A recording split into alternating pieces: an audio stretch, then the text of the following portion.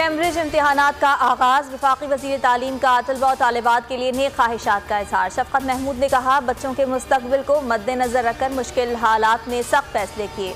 British Council S O Ps पर सख्ती से अमल दरामद कराने के लिए पुरज़म है।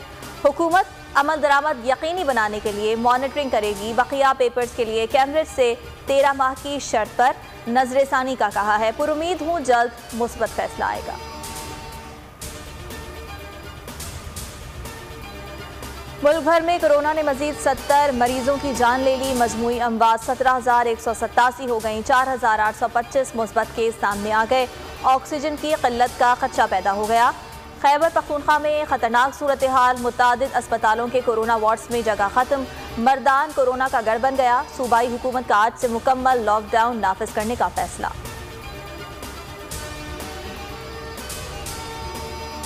कोरोना के बढ़ते हुए केसेस ऑनलाइन क्लासेस लेने का फैसला मावन खसूसी बरए तालीम, कामरान बंगश के मुताबिक।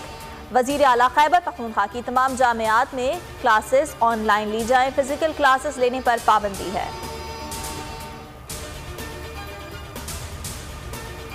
अस्पतालों में वेंटिलेटर्स की तादाद बढ़ाई ऑक्सीजन बेड्स में भी इजाफा किया गया। कोरोना पर सियासत चमकाने वालों की अकल पर मातम ही किया जा सकता है।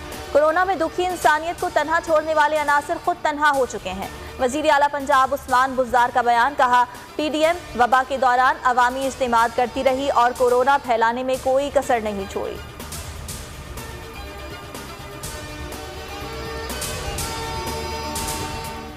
कोरोना एसओपीज पर अमल कराने के लिए जिला इंतजामिया के साथ पाक फौज, सरगर्म पंजाब और खैबर पखनखा में मुख्तलिफ़ मकाम पर पाक फौज तैनात।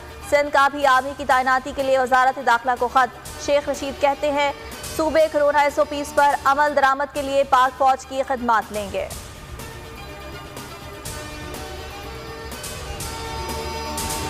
कराची में कोरोना एस ओ पीज की खिलाफ वर्जी पर इंतजामिया का सख्त एक्शन। मास्क ना पहनने पर छह अफराद पर फीकस, पाँच सौ रुपए जुर्माना। मुख्तलिफ़ इलाकों में रेस्टोरेंट और दुकानें सील, मालिकान गिरफ़्तार। कोयटा में कोरोना एस ओ पीज पर अमल दरामद के लिए ताकत का इस्तेमाल। ताजिर बेकाबू लेवीज एहलकारों पर हमला कर दिया। दो एहलकार जख्मी, वज़ीर आला और वज़ीर दाखिला की जिम्मेदारों के खिलाफ कार्रवाई की हिदायत। माजी के हुक्मरानों की करप्शन से तबाह पाकिस्तान स्टील मिल्स आज भी उम्मीद। माहरीन का कहना है कि स्टील मिल्स का ऑक्सीजन प्लांट दोबारा फाल करना मुमकिन है। प्लांट पी घंटा पंद्रह हज़ार क्यूबिक मीटर से जायद ऑक्सीजन तैयार कर सकता है। लाखों कोरोना मरीजों की ऑक्सीजन की ज़रूरत पूरी हो सकती है।